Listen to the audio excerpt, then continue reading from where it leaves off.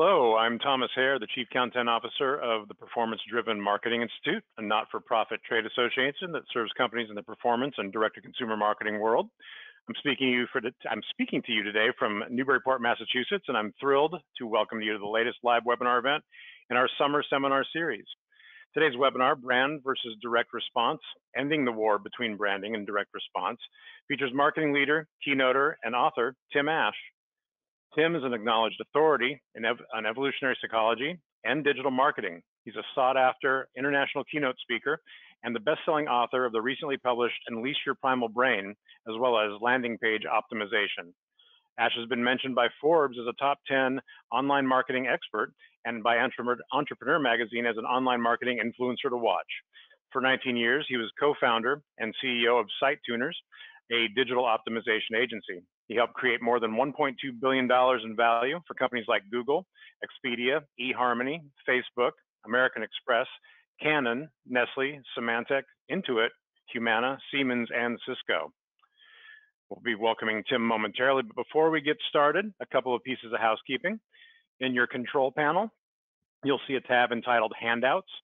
In that Handouts tab, you'll find three PDFs, including a copy of Tim's presentation from today, a chapter from his new book, Unleash Your Primal Brain, and a PDMI membership brochure. So feel free to download those at any time during this process and uh, take a look at them following the event.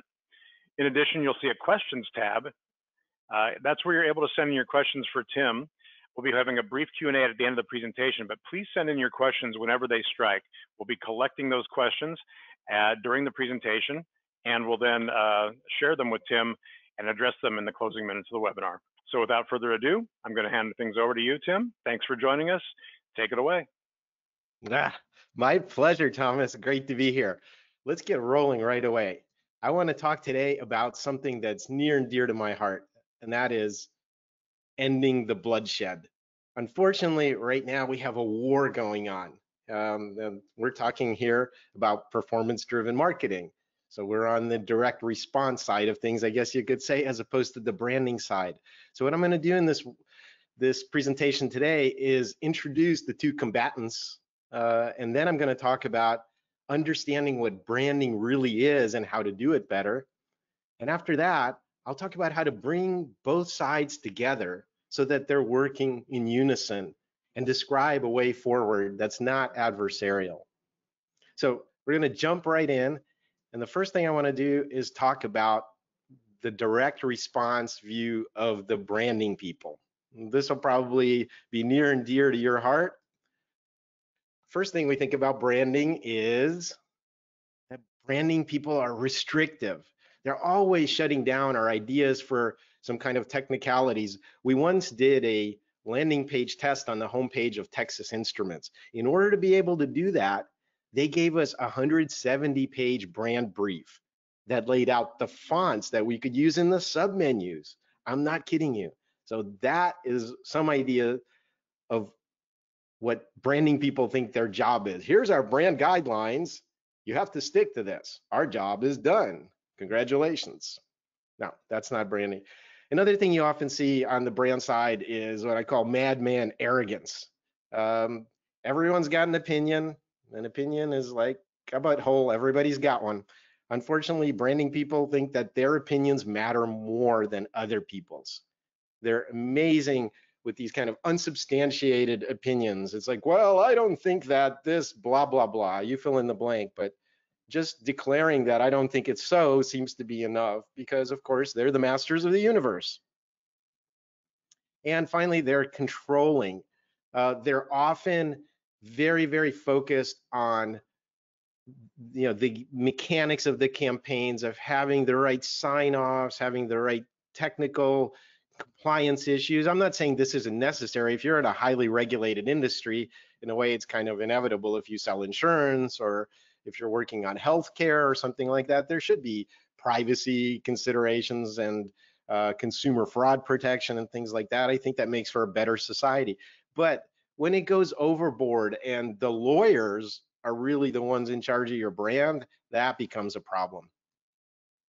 So the other thing is branding is kind of hard to describe in the sense of um, what's the point of it?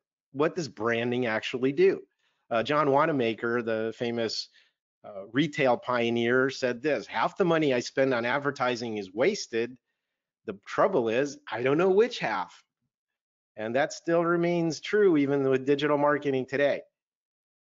Because advertising is considered part of branding. It's not under the direct response umbrella.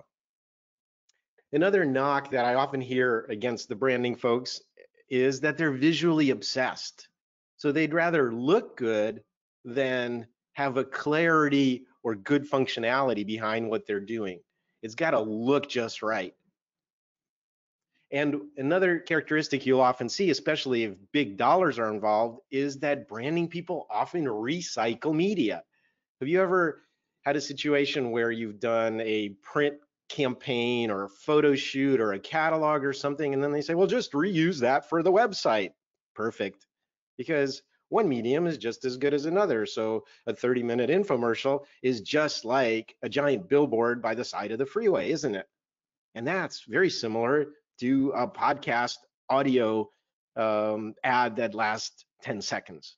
Well, no, all of those are different. Yet branding insists on taking your at least high cost, if not high value assets and reusing them all over the place across all channels.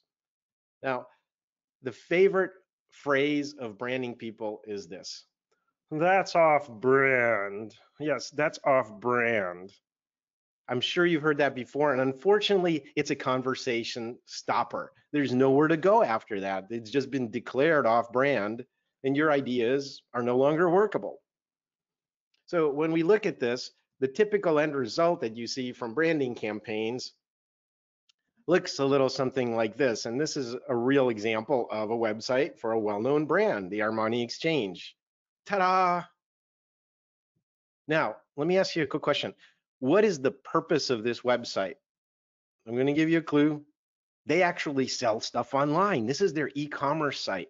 And yet what it has is a black and white photo front and center and then giant headshots or partial headshots of uh, guys that clearly need a shave. Um, and this is their e-commerce site. This is supposed to sell stuff.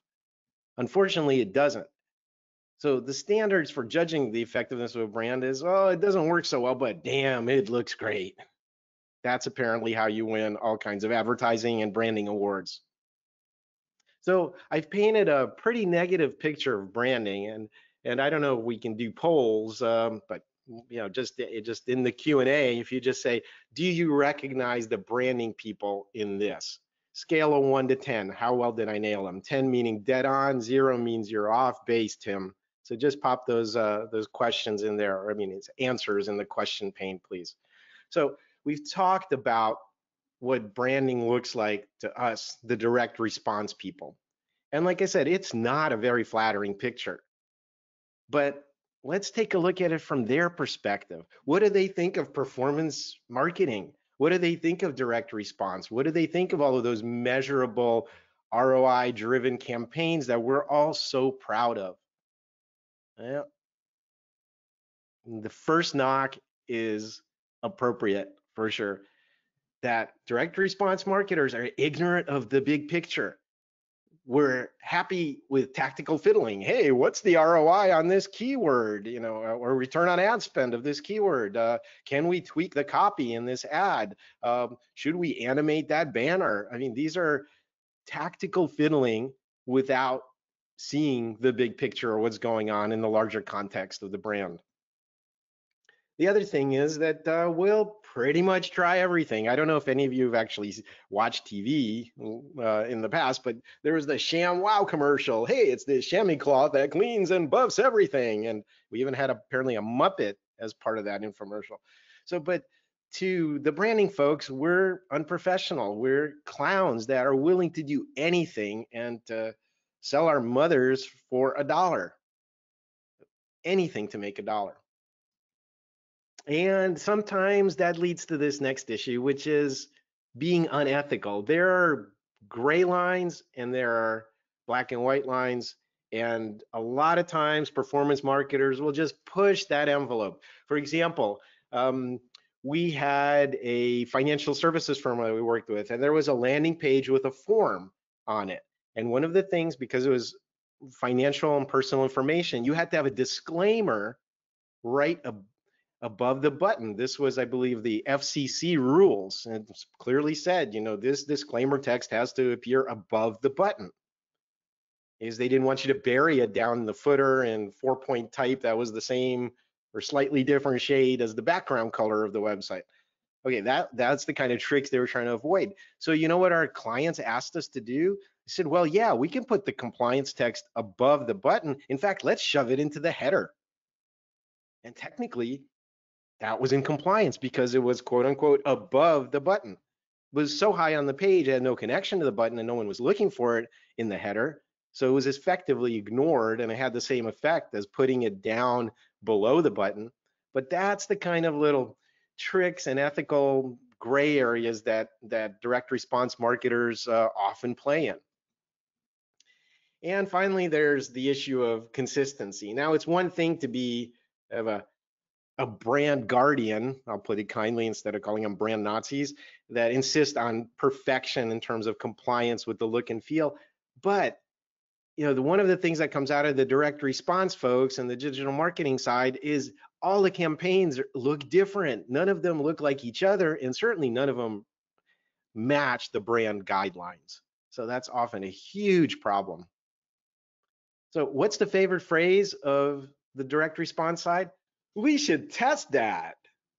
How many of you have actually said that in the last month? Again, go into the, the question pane and admit it. Have you said, we should test that in the last 30 days? I just want a simple yes or no. Look, this is therapy for, for marketers, but we can all be honest with each other, I hope, here in the, in the webinar. And by the way, I've said that a time or two. As some of you may know, I've written a couple of best-selling books on landing page optimization and testing is certainly a, a core activity of optimizing digital marketing. It's not the only one, and if that's all you're using, you're definitely fighting with one hand tied behind your back, but it is a very, very common thing. Let's just try it. So what does that lead to? Well, the typical end result of direct response campaigns is something you've probably seen if you're old enough like me to have watched TV is screens like this. Hey, seen on TV, a special offer, only four payments of 19.95 plus shipping and handling, which is always like 9.99. Have you noticed that? So this is it. This is the end result of all of that testing, all of that fiddling, all of that optimizing, and we can be proud on the direct response side of, hey, works better than everything else we've tested. So again, you're probably seeing that this is not exactly a flattering view either. The branding guys don't like us. We don't like the branding people. And in between is a lot of friction and pain and lost opportunity and unhappiness with the results. So we do understand direct marketing. I don't have to explain that to you, but let's talk a little bit about what branding really is. And I'm just going to give you some, some useful ways to think about branding. So the traditional view of branding is actually that you're projecting something out to the world. It's megaphone time. I, I use my um, you know European soccer announcer voice. Goal! You know that's kind of um, what branding is supposed to be. You just just yell louder than everybody else, and then eventually people hear you. Unfortunately, we're all living in, in very very much an information not rich in an information overloaded world and we have the attention span of a lit match so if this ever worked, it's not going to happen today. Another thing to understand about branding is that they're really hard to change. Uh, I once uh, had a friend who was stationed on a nuclear aircraft carrier here in San Diego, where I live, and he was telling me about, I think it's called a J turn. So this is when the ship is going full speed, about 30 knots. They throw it with a rudder, you know, hard to the right or to the left, the whole ship tilts at a 20 degree angle, and then they can they make a U-turn effectively at sea. Do you know how long it takes them to make a U-turn at sea? A mile and a half to turn 180 degrees at full speed. A mile and a half. Think about that. When you have a brand and it has momentum and it's powerful, it's going in a certain direction. So to try to modify that is going to be really, really hard. I'll give you an example. I, uh, some of you may be on the East Coast. I, I went to high school in New Jersey and you know, we had Comcast. They've re recast themselves as Xfinity now, but Comcast is not exactly a well appreciated brand. So if you Google Comcast sucks right now, and this was a while ago, you'll get hundreds of thousands of results. And the only way that they're going to try to get away from this is to rename themselves Xfinity and try to leave all that baggage behind it. But Comcast still sucks, and it'll probably take a whole generation of their customers to die before that perception even has any small chance of changing. Another example from uh, back in the older days is the Oldsmobile. There was this ad that they ran in magazines. This is not your father's Oldsmobile. Well, that's true. It's probably more like my grandfather's. They were trying to kind of update their image and pretend that they're new and hip and cool, and they redesigned their logo instead of that that little um, you know, rectangle with uh, the lines in it. They decided to do this logo. Yeah, except it didn't really help. So their brand died along with their buying public because younger people were not buying their cars. I mean, the name Oldsmobile should tell you enough in and of itself. So 2004, bye bye Oldsmobile, shut down. All right, another way to think about branding, and this is also helpful uh, if any of you have read Ries and Trout's book, is kind of a classic on positioning, is to think about a brand as a ladder and a shortcut. So if I ask you name a toothpaste brand right now, let's do this in the Q&A. Go ahead and enter, just type it in real quick. Toothpaste brand, type it in. I'll be, I'll wait. It's okay. Colgate. Okay, we got people coming in. Colgate. All right. Yeah. Tom's Crest. Okay. Hey, I'm going to show you a magic trick. You ready? Crest, Colgate, how many of you typed those in? Wow, I'm just an amazing mentalist and magician, and I figured that out. Well, no, those are the best known brands. But you know what? Actually, uh, when I originally worked on this presentation, I went to my local supermarket, the Vons, and looked at all the different brands they had on the shelves. It was over 180 different brands of toothpaste. And yet the only ones, yeah, some of you are like, okay, yeah, Aquafresh made it, but or Tom's, you know, but the only ones that most people think of are Crest and Colgate because they're by far the market leaders.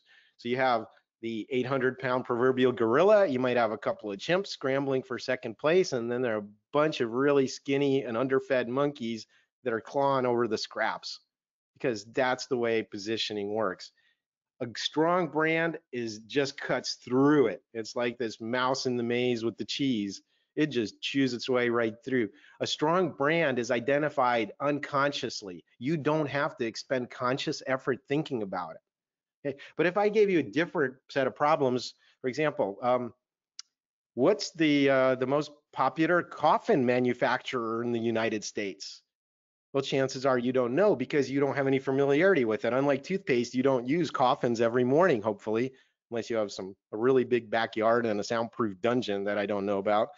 In any case, back to our regularly scheduled programming, we don't know things that we're not familiar with, but once that brand drills itself into our heads, it's a shortcut to decision making.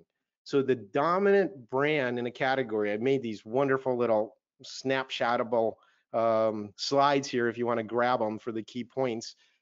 The dominant brand in a category achieves mental shortcut status. You literally don't have to consciously think about the decision anymore. It's on autopilot. And it's, it's a very powerful place to be. A brand is also a frame, and we're going to do a quick test here. Uh, so get ready uh, and answer this in the question uh, pane. I'm going to ask you on this next screen after this one, which inner square is darker? I'm going to show you a square inside of a square and two sets of them. So you just have to put in left or right. Which inner square is darker? You ready? Take a look at this. Which inner square is darker? The vast majority of you are thinking the one on the left. But what if I removed the outer squares and showed you the actual inner squares side by side? Hmm, a little different. They're actually identical. You probably won't believe me, so let me go back to the previous slide so you can take a look again. They're actually identical. What changed your mind, what influenced you was the frame around the square, which was the, the, the larger square behind it. the context really matters. The fact that they're identical is only when there's no context. So the power of branding is the unconscious backgrounds that frame the foreground, if you will, experience that we're having. So I'm going to show you this to you in a very tangible way. And again, I'm going to show my Gen X roots here by going back to TV commercials. Um, and there was a very famous, you know, like Folgers instant crystals. Don't ask me what an instant crystal is. It sounds kind of gross, but they ran this line of Folgers TV commercials, and they were all set in five-star restaurants like Tavern on the Green in New York, and you know similar Michelin three-star kind of places. And at the end of the meal, they would say, "We secretly replace the fine coffee you normally serve with Folgers instant crystals," and people went nuts for it. when they had them on hidden camera, they said things like, "Oh, it's very, very rich and delicious." The best coffee I've ever tasted. And this kind of stuff went on and on. But the reality was, Folgers was not the brand frame for the experience, it was the famous restaurant. What made you appreciate the coffee was the frame around it. It was the fact that you got dressed up, you went out in your nice car. Some nice young man probably valeted for you. You were ushered to your table. Oh, welcome, Mr. and Mrs. Ash. Have a seat and people swept crumbs off of your table with silver scooper spoons. And at the end of this wonderful meal, you had the coffee and dessert. And in that context, the coffee was delicious and perfect. And it had nothing to do with the coffee or the quality of it, which, no offense, but dehydrated uh, coffee crystals, still probably not my first choice under any circumstances. So brands provide the context in which which increases the perceived value of the product. The product doesn't even actually have to be that good. It can actually be pretty stinky. But the context in which we experience it is all important, and brand helps with that. So we can also switch to kind of the physical presentation of brands. If you look at the American Marketing Association, they have this definition, a lot of which has to do with the appearance of the brand and the physical manifestation of it. So we're going to do another quick set of tests. And I just want you to think in your mind of the answer. You won't have time to type it in. But if I ask you right now to name a cigarette brand, think about what you just thought. All right, here we go. What if I said a cigarette brand and tall black letters? Chances are I'm building something you'll recognize it. What if I just showed you these four tall black letters? I bet you can recognize it. That's because this is probably the brand you've been thinking of all along. It's a really, really powerful brand. What if I just said the color red associated with a cigarette brand? Just those words. Remember, I'm not showing you anything visual. I'm saying solid red color. You're probably still thinking Marlboro. If I showed you this and I said, what cigarette brand does that evoke? You're thinking Marlboro. Certainly, if I show you their chevron that's at the top of their package, their mm, their trade dress, if you will, you'll recognize it. But there are other ways to evoke it. That all had to do with the actual kind of logo type, if you will, the colors, the letters. But what if I just said lone cowboy on the range? So what cigarette brand do you associate that with? You'd still say Marlboro. In fact, here's their a magazine ad for a long time, and they they actually have their logo in it. They have the little pack of cigarettes, and that's fine. But most of it is taken over by this, you know, this uh, cowboy who's got some kind of branding iron in his hand. Pardon the pun, branding. I didn't even catch that the first time I used that picture. But what about if we just, if you, this is their most subtle ad. What do you think of this? That's enough to evoke Marlboro. Folks, they're not even using their box or their logo type on it. So that lone cowboy on the range represents the brand. How did that get into your head when I asked about cigarette brands? By the way, I have to admit something now. I kind of tricked you. This was not a Marlboro ad. This is just a stock photo that I pulled somewhere off the internet, probably illegally. But it's the underlying mental model, and that's my point. The underlying mental model is what evokes the brand. So rugged masculinity and independence is the name of the game for Marlboro. And when they did the original campaign, the Marlboro man, the cowboy, was just one of the first ones. They were going to run follow ups. The construction worker, the sea captain, the war correspondent, and finally, the weightlifter. These were all going to be follow ups, but they did so well with the Marlboro man that they just stuck with it, probably for focus and repetition to their definite advantage instead of featuring all these different types of rugged masculinity, if you will. So the problem though with trade dress is it can also be easily manipulated. Would you smoke this brand of cigarettes? Let me ask you that. Okay, I'm in California. I have to admit, this kind of makes sense in our context here, easy to trick the mind. How about this? Your favorite cola? Hopefully not if you speak Spanish. Mm, Coma caca, uh, not a very good thing to drink.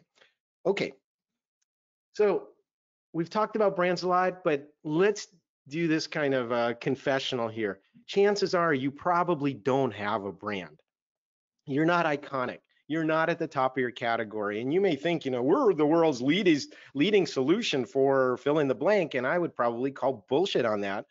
Unless you have a world class brand like Marlboro, like Coca Cola, um, like um, Disney, you don't have a brand. You, you just think because you've read enough Gartner research reports that in your narrow category, you might be somewhat of a leader, but that's not reality. Here, let me ask you a quick question. Do you recognize any of the following things on this list? If you do, tell me what they are. Tell me what are the things on this list. Type it into the questions if you actually recognize any of these and describe what these are. These are product names, but what are they product names of? Polaroid camera, Polaroid cube flash. Nope. Nope. You know what this was? This was a list of GoPro alternatives. Quick show of hands, you don't have to type this in. How many of you have heard of GoPro? Guess what? Just about every hand just went up. But you never heard of those other alternatives.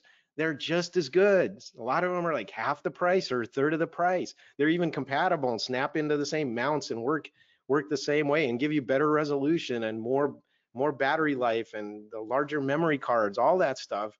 But you never heard of them because GoPro stole their thunder. So unless you're Go, the GoPro of your category, you don't have a brand. So bad news.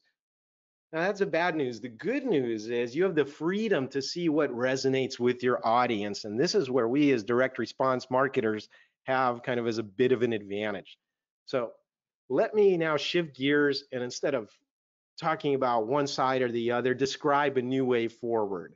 And again, both branding and direct response are bright in a sense, but they're also blind to each other's blind spots in a sense. It's like the fable of the blind men touching the elephant and each describing it differently depending on which part of it that they're they're touching. So what is a brand that where it really matters? The brand is what lives in the minds of the customers. Again, back to our our old friend John Wanamaker, when the customer enters my store, forget me, she is king. That's what he said, and the focus is absolutely right. The focus should be on your customers and specifically on the inside of their heads. I love this quote. Your brand is whatever your customers say it is. Period. Full stop. Mic drop. I don't know what whatever trite thing you want me to say next, but this is the most important thing that I'm going to tell you today. Please don't leave the webinar. I got more good stuff, but this is the most important. The brand is whatever your customers say it is.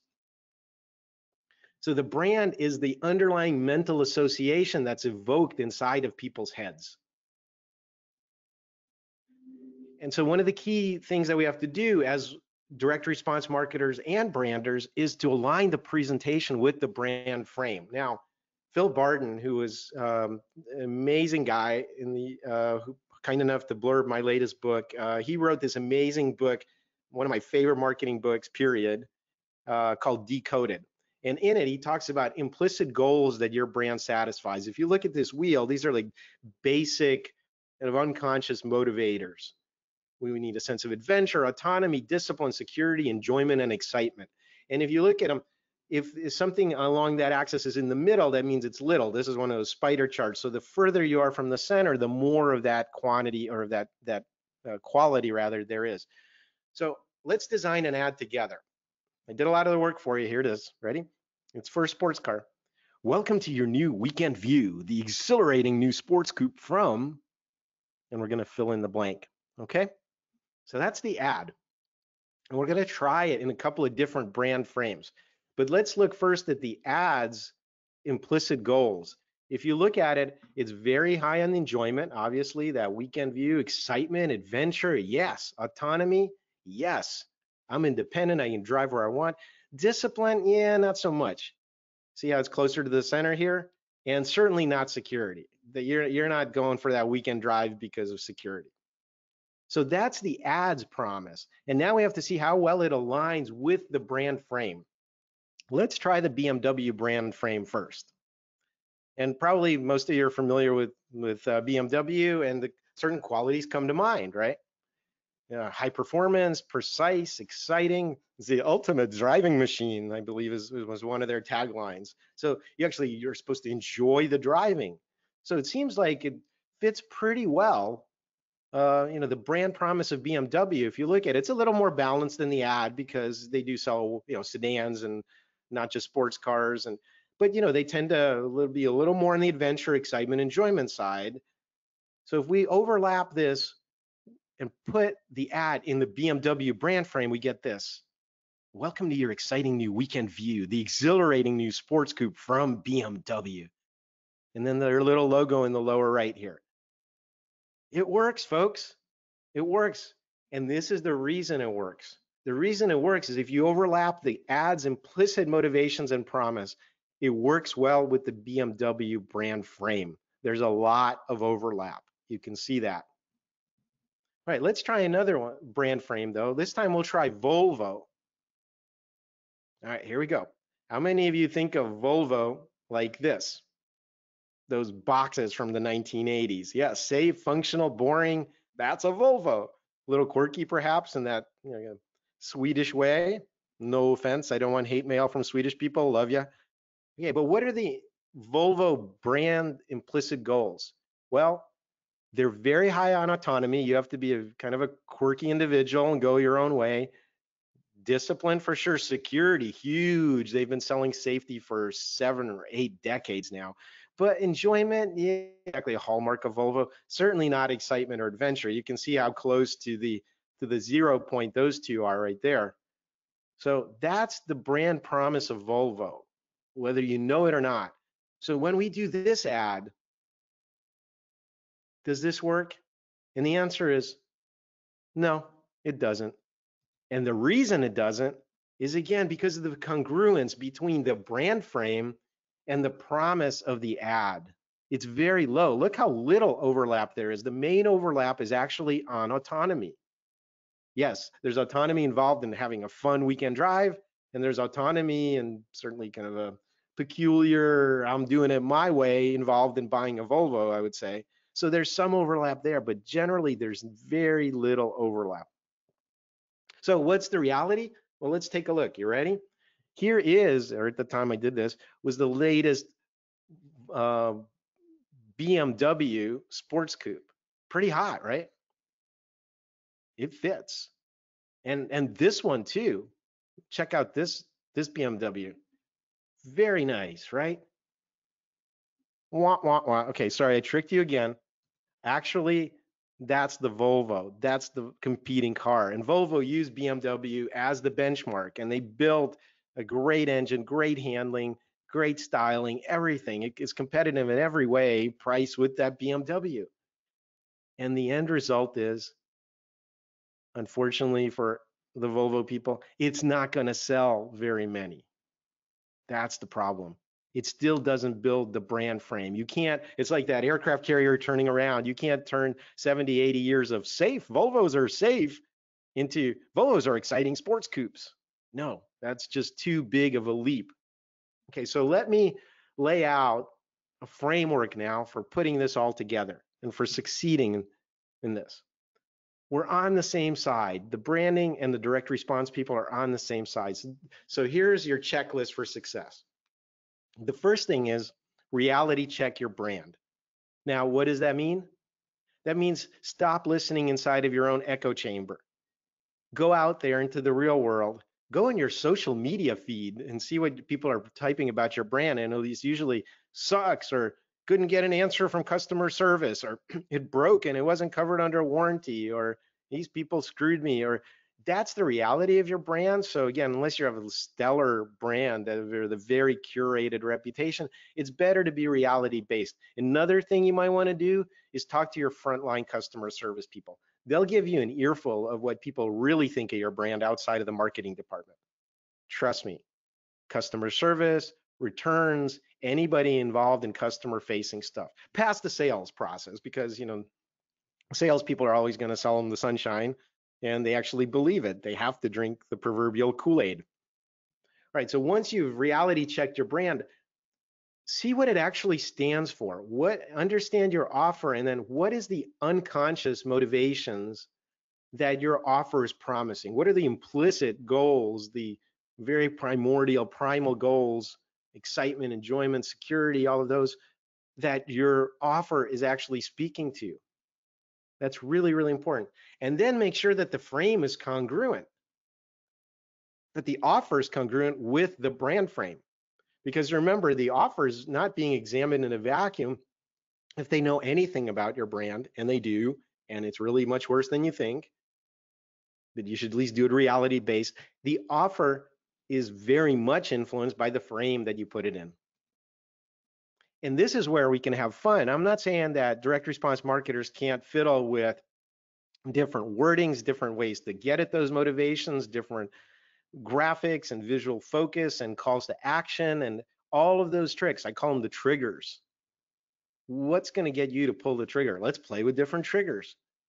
We have the concept, we have what the promise of the ad is we think it's aligned with our brand frame. Now we need to just activate that somehow. And this is really, really important and doesn't happen nearly enough in most companies. When you see how people are reacting in the field, as they say, on the ground in military terms, to your campaigns, to what you're trying, that should be used as feedback and fed back into your, your branding folks. It's a reality check and it'll bring the brand, you know, guidelines and everything else into closer alignment with what people like and react to or don't like and aren't reacting to, equally important. Now, I have a number of books for you to read, uh, some some reading assignments.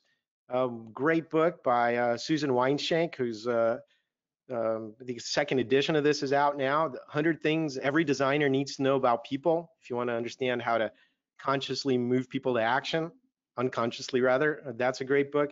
Brainfluence by my friend Roger Dooley, a great summary again of the behavioral economics literature out there. Um, this is kind of the seminal book on psychology and motivation and sa sales by Robert Cialdini. Uh, he's, he's he's also got a new edition of this out, and I highly recommend his other book, which which is also rolling out called Pre-Suasion, not Persuasion, Pre-Suasion fantastic books. This is kind of must reading, one of the Bibles in the field.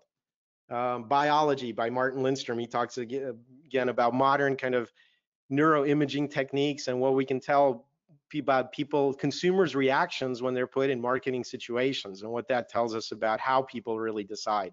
And Decoded. I've mentioned Phil Barden's book. This is gold. And he talks a lot about consumer products, but there's just that book is really, really packed with such solid information. I just have mine bookmarked and underlined and highlighted all over the place. Highly recommend it. And then this is small, oldie but a goodie, the 22 immutable laws of marketing. If you want to understand the fundamentals of positioning, you have to read this book by Ries and Trout. My own book, this is the second edition of my landing page optimization book. I have quite a bit in there about consumer behavior and about uh, persuasion and marketing and a lot of it's evergreen despite some of the older screenshots. Well, I'm going to give you a little bit of background about myself. I appreciate you listening in, then we'll throw it over for a Q&A. So if you haven't done your questions yet, whatever this has brought up for you, please, please, please start typing in your questions, and Thomas is going to pitch them to me uh, in the Q&A starting very shortly. So start thinking about things you want to talk about or questions for me. Uh, just some quick background. Um, I'll just let you read these slides. You're, you're welcome to grab them uh, as well as one of the handouts. The PDFs are available. I've worked ran a digital marketing optimization agency called SiteTuners for 20 years. We had 1.2 billion in documented value created. Uh, since then, I'm focusing mostly on keynoting and um, marketing training for companies and executive advisory for people that want to take their online marketing to the next level. So if, if any of that makes sense, feel free to reach out. Uh, I mentioned my latest book. Um, this is it, Unleash Your Primal Brain. If you want to pick up a copy of it, uh, just go to primalbrain.com uh, and it's it's available there. Actually, yeah, I mentioned Robert Cialdini earlier. He was kind enough to to provide a, a blurb. He really liked the book, so hey, if Robert likes it, hopefully you will too. No, this is seriously, this is a great overview of evolutionary psychology. What does that mean in practical terms? If you want to understand how you think, you have to figure out how our brains evolved and got here. So I go from early life all the way to the things that make us uniquely human. There's just tons of nuggets and insights in there. If you're a marketer, I'm going to do probably a follow-up book specifically on how to apply it to neuromarketing, but you'll get all kinds of insights just by reading it. So if you do pick up a copy, give me a shout out and let me know what you think. I'm very sociable uh, and uh, please feel free to get in touch. Here's, here's how to stay connected. And uh, again, this will be in the slide handout that you can download and you know, feel free to put a meeting on my calendar if you want to talk. Uh, I want to offer something to the PDMI audience. I've talked about this with Thomas. We're going to do five free online strategy reviews. You get to talk to me uh, directly about your online marketing strategy. We'll record the whole thing via Zoom. As long as you qualify and you do at least a million dollars in online value, whether that's direct revenue or lead value, um, that's that's my only ask. Limited availability. Usually these go really fast in, in these webinars and online seminars. So this is what you do. The call to action is email me, tim at timash.com, and the subject line is help me with strategy, exclamation point first five qualified people get that review and I'll reach out to you to schedule. All right, well, that brings me to the end of my, uh, my prepared presentation. I'm really looking forward to answering your questions. So please, please, please type them into the question pane and uh, Thomas will uh, relay them to me. Uh, back to you, Thomas. Thank you, Tim. Appreciate it. Um, we do have a few questions here to, to get things rolling. As Tim noted, please, if you do have a question, send it through the questions portal and, uh, and we'll get to it hopefully. Uh, first one um, comes through. Uh, if you had to choose to use DR or branding and you could only pick one, what would you choose and why? Ah, well, again, um, my, I think the whole point of my presentation was that they have to work together and you can't do one without the other. Um, I don't know how many of you in the audience, I haven't personally, but been to see the Taj Mahal, for example. But you know, you always see this beautiful building, this ethereal purple light around it, usually at sunset, and and it just looks amazing.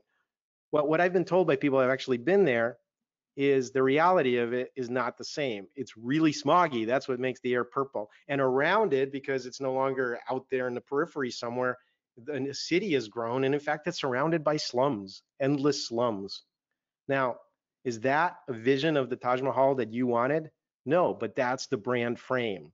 Nothing exists by itself as a direct response offer.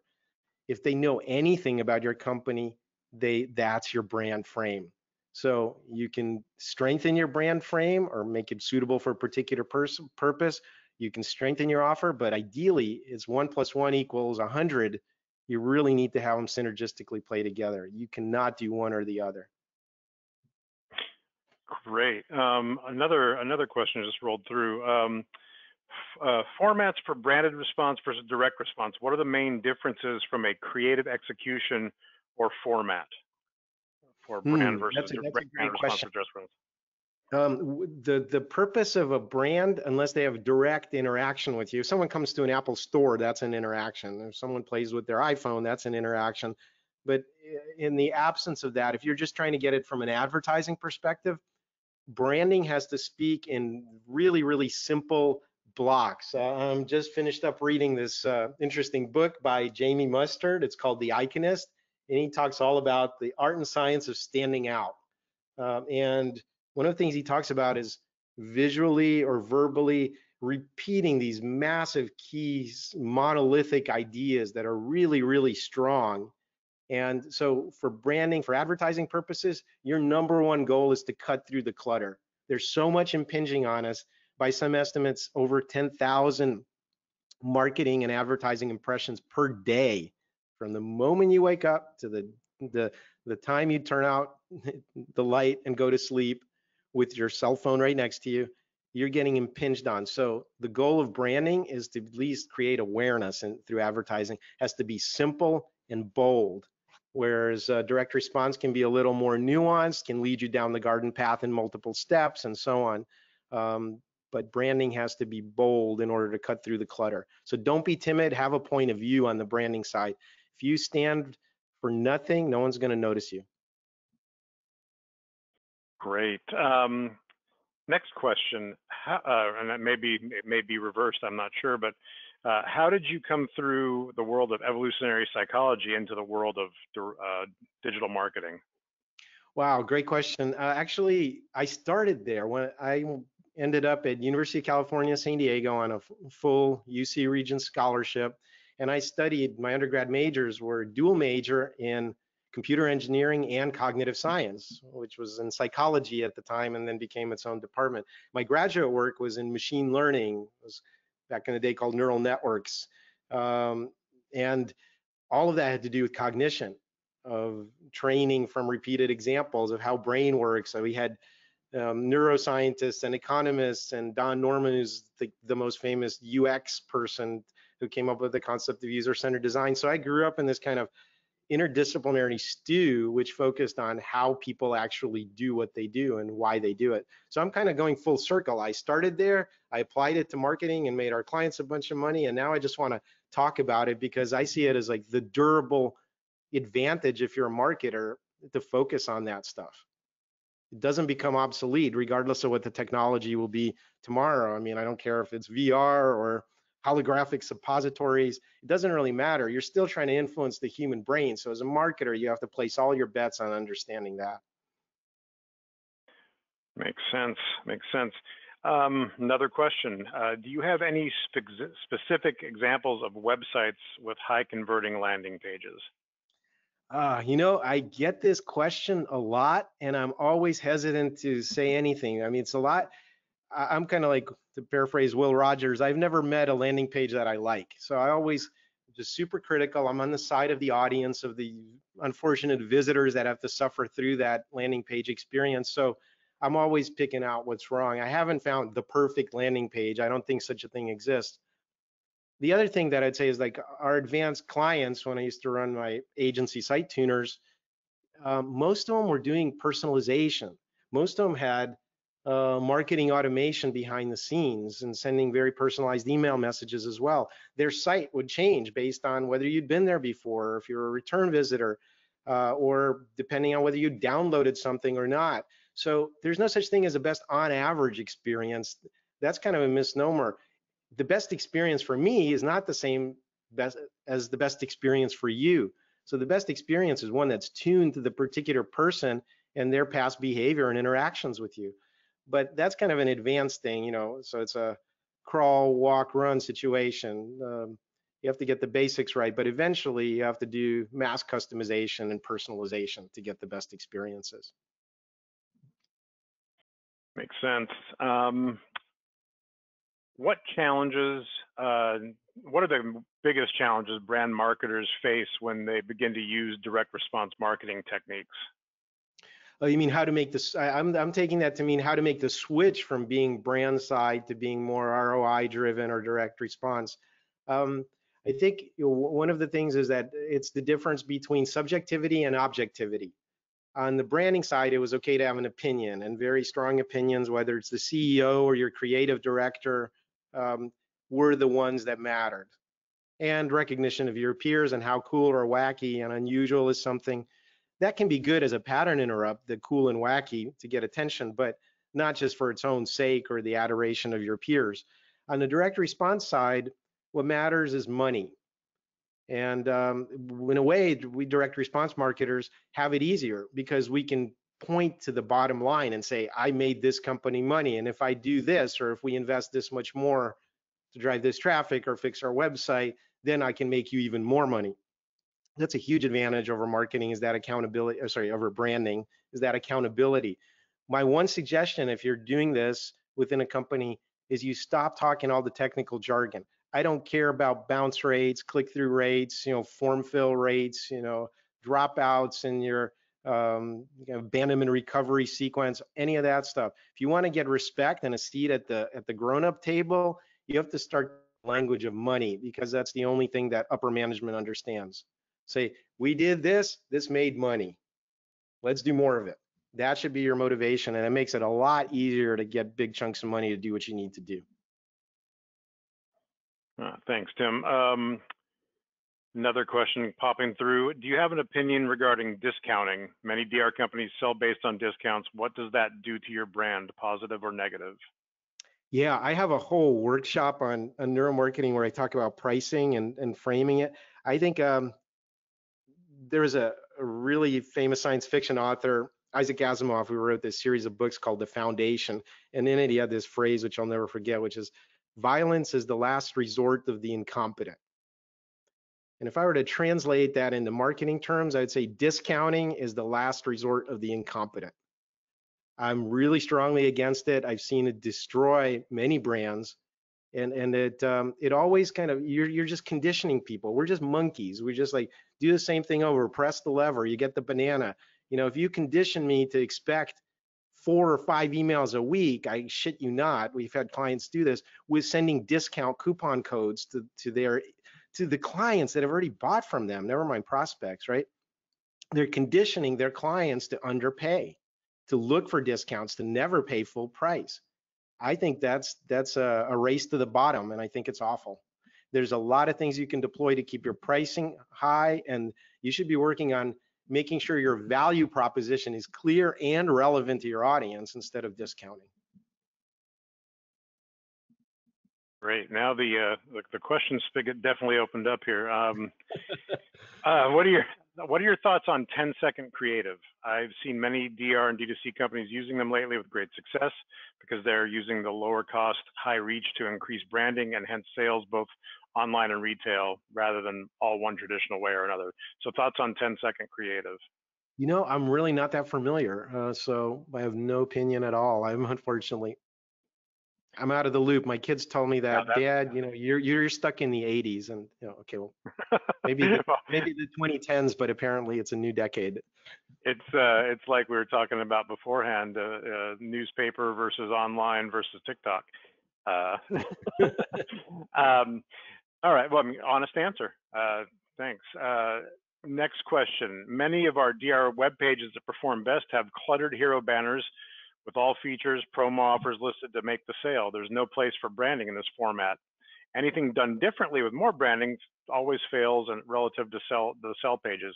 How can you reconcile this? Okay, that's a great question. Well, I think that goes to just in general the the issue of too much clutter.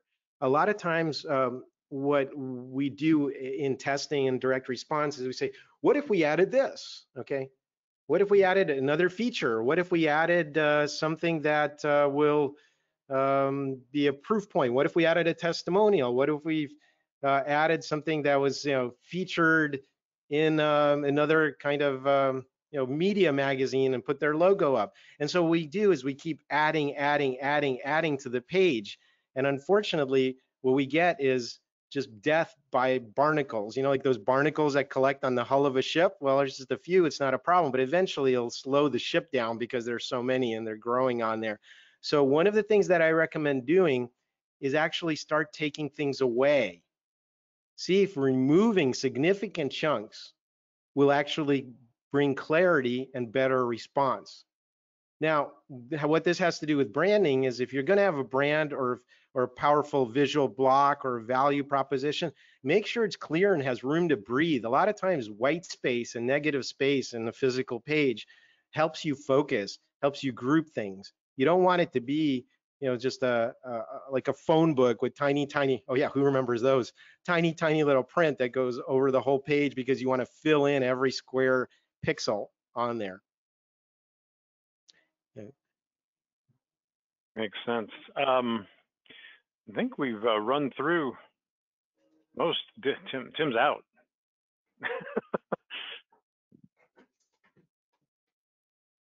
And I apologize. The, the, the wonders of doing webinars at home is that the, the gardeners next door decided to cut cut the hedges.